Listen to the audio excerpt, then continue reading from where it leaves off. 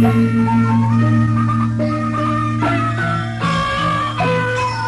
่ซึมค่ะ สวัสดีค่ะ หายหน้าหายตากันไปนานมากๆแล้วนะคะ หลังจากกลับหน้านางมา แล้วก็ไม่ได้ลงคลิปเลย เพราะว่าเพราอะไรเดี๋ยวเราเดี๋ยวโมจะมาบอกค่ะ แล้วก็ร้านเราใกล้เสร็จเลยยังวันนี้ก็จะมาอัปเดตร้านให้ทุกท่านดูด้วยนะคะ ทุกท่านบอกถามมาหลายท่านเลยร้านเสร็จหรือยังนู่นนู่นนี่นี่อะไรแบบนี้ก็เลยไม่ได้ตอบข้อความหรือยังไงแต่ว่าโมก็เข้าไปอ่านอยู่ค่ะ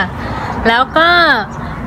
วันนี้ดีใจมากๆวันนี้ก็จะเป็นวันที่สองแล้ว เพราะว่าฤดูหนาวเข้ามาเยือนรัชฉานแล้วนะคะ เย้ วันที่สองก็จะเมื่อวานจะหนาวมาก วันนี้ก็หนาวมากเหมือนกันอากาศ อากาศนะคะอยู่ที่ประมาณ 18 องศา 16 องศาตอนเช้านะคะ แต่ว่าตอนนี้เป็นเวลา เดี๋ยวโมจะให้ดูว่าเวลากี่โมง เวลา 8 โมงครึ่ง แล้วเรามาดูกันว่าอากาศอากาศหนาวที่นี่อยู่ที่เท่าไหร่นะคะ นี่ตอนนี้เป็นเวลา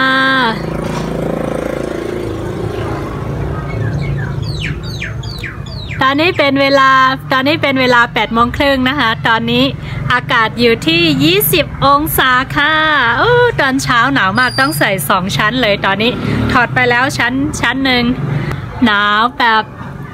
ชอบเลยเพราะว่าโมจะชอบฤดูหนาวมากๆค่ะ ไม่มีอะไรวันนี้ก็มาแจ้งว่าฤดูหนาวมาเยือนและฉันแล้ว อากาศก็ตอนเช้าเช้าอยู่ที่ 16 องศาแล้วก็ตอนนี้ อยู่ที่ 20 องศาเป็นเวลา8โมงครึ่งแต่ว่ายังไม่เห็นตะวันเลยนะคะ ดีใจดีใจที่สุดเลยเพราะว่าโมชอบฤดูหนาวมากๆ แล้วก็ในช่วงฤดูหนาวจะเป็นอยู่ง่ายแล้วก็สบายสบายไม่ร้อนไม่อึดอัดนะคะแล้วก็ได้ใส่เสื้อแขนยาวแบบหนาๆไปเลย แต่ว่าเวลเวลาทำนู่นทำนี่ก็จะไม่ค่อยหนาวเท่าไหร่ แต่ก็เวลาจับน้ำนี่คือเหมือนจับน้ำแข็งเลยนะคะ ก็มาแจ้งว่าอากาศหนาวแล้ว แล้วก็เดี๋ยววันนี้เราจะพาทุกท่านไป ดูว่าร้านเราเสร็จหรือยัง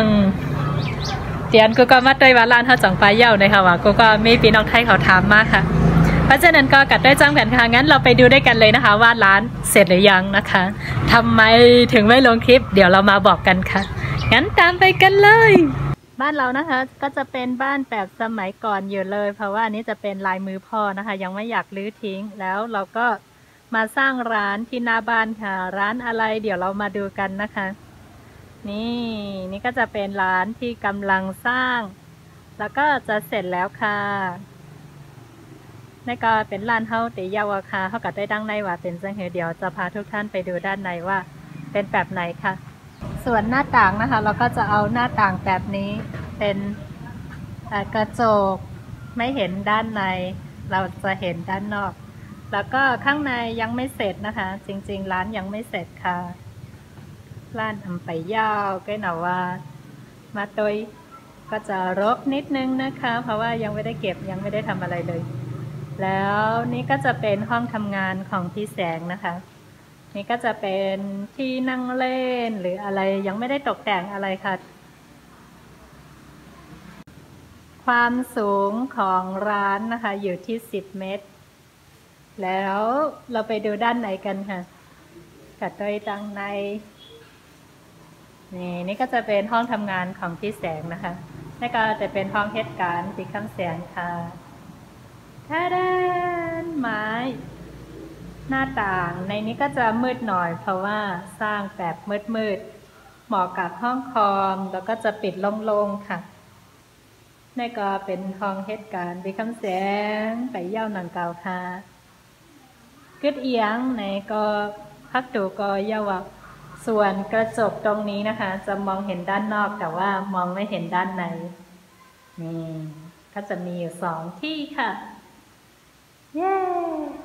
อันนี้ก็ใส่ประตูแล้ว ใส่เมื่อวานนี้เดี๋ยวเราก็จะย้ายเข้าเลยนะคะวันนี้ รกมากเราทำแบบทำนู่นทำนี่แล้วก็ไม่ได้เก็บเลย ตอนนี้ก็เหลืออยู่ก็คือประตูนะคะ ในก็เหลือพักตูกึดพักตูนี่ยค่ะว่าพักตูมไปไล่เฮ็ดค่ะทำไมถึงยังไม่ทำเพราะว่าช่วงนี้เป็น นี่พัก ยังเหลือประตูอีกสองบานนะคะ ก็จะเป็นแบบกว้างๆโล่งๆแบบนี้ แต่ว่าจะเอาประตูอะไรยังไม่แน่ใจกำลังคิดอยู่นะคะ เดี๋ยวพักตัวเจ้าเหียวดำไปพูดด้านไปวนตัวอยู่นะอันนี้ก็จะเหลือด้านบนแล้วก็บันไดแล้วก็ประตูสามบานนะคะ ทำไมร้านเราถึงยังไม่เสร็จนะคะ ทราบไหมคะเพราะว่าในเมียนมานะคะ เงินเงินเฟ้อแบบสุดๆไปเลยแล้วเราก็ยังไม่ทำต้องหยุดชะงงักไปก่อน แต่ก็ยังเหลืออีกแค่ประตูสองบานเท่านั้นค่ะ แต่ก็จะพยายามทำให้เสร็จในพรรษานี้ เพราะว่าออกพรรษาเราจะต้องเริ่มทำงานกันแล้วนะคะ งานอะไรที่โมกับพี่แสงทำอย่างที่ทุกทุกท่านทราบอย่างที่ทุกท่านทราบนะคะก็จะเป็นงานถ่ายเอกสารร้านถ่ายเอกสารเล็กๆ แล้วก็รับทำการ์ดต่างๆ แล้วก็รับจัดงานแต่งนะคะ งานแต่งแบบว่า backdrop แล้วก็ floral อะไรแบบนี้ค่ะ แล้วโมก็ไปเรียนมาแล้ว เมื่อก่อนก็จะทำแบบผ้าม่านฉากอะไรแบบนี้ มากกว่า ตอนนี้เราก็ทำได้หลายอย่างแล้ว โอเค งั้นออกพรรษานี้เราก็จะมาเริ่มทำงานกันอย่างจริงจังค่ะทำไมถึงไม่ค่อยลง YouTube นะคะ เพราะว่าช่วงนี้คนที่บ้านน้อยมากจะเหลือกันแค่ 3 คน แล้วพี่สาวก็ออกไปอยู่บ้านสามีแล้ว แล้วหลานก็ไปคนละที่คนละทางก็เลยไม่ได้ทำอะไรค่ะ หลังจากอยู่ หลังจากกลับจากนานางเราก็จะมา ดูแลลูกนะคะ ดูแลงานบ้านนู่นนู่นนี่นี่แล้วก็ช่วยพี่สาว อะไรแบบนี้แล้วก็เลยไม่ได้ทำคลิปเลย แต่ก็จะทำอยู่ยังไม่หายไปไหนนะคะ ก็จะมีเป็นบางช่วงๆที่โมไม่ได้เข้าหรือไม่ได้ทำ YouTube แต่ช่วงนี้ก็มาทำเพจอยู่นิดๆหน่อยๆนะคะ ก็จะมีชื่อว่าโมลาเซียเหมือนกัน แล้วแต่ว่าทางเพจโมจะเป็นภาษาไทยใหญ่ แล้วก็จะไม่ใช้ภาษาไทยเลย ถ้าเป็นใน YouTube โมก็จะใช้เป็นภาษาไทยนะคะ งั้นก็ในวิดีโอนี้ก็ไม่มีอะไรมากค่ะ ก็จะมาบอกแค่นี้เดี๋ยวอีกหน่อยจะมีข่าวดีแต่ว่าข่าวดีอะไรยังไม่บอกนะคะ ต้องรออีกนิดนึงก่อนตอนนี้ยังบอกไม่ได้ วันนี้วันนี้เราก็มาบอกข่าวดีทุกท่านเพียงเท่านี้ค่ะ ข่าวดีก็คือรัฐรัฐในรัฐฉานนะคะมี ฤดูหนาวมาเยือนแล้ว ปกติช่วงนี้ยังไม่หนาวจะหนาวหลังออกพรรษาไป แต่ว่าปีนี้ ยังไม่ออกพรรษาเลยเหลืออีกประมาณ 15 วันนะคะ ถึงจะออกพรรษา งั้นในคลิปนี้ก็จะขอจบเพียงเท่านี้ค่ะ อย่าลืมติดตามเป็นกำลังใจให้ด้วยนะคะ แล้วก็ใครที่เข้ามาติดตามเป็นกำลังใจให้ตลอดก็ต้องขอบคุณจริง ๆ ค่ะ งั้นเจอกันใหม่ในคลิปหน้าค่ะพบกันใหม่ในวิดีโอหน้าค่ะไม่ซุ้งค่ะ สวัสดีค่ะ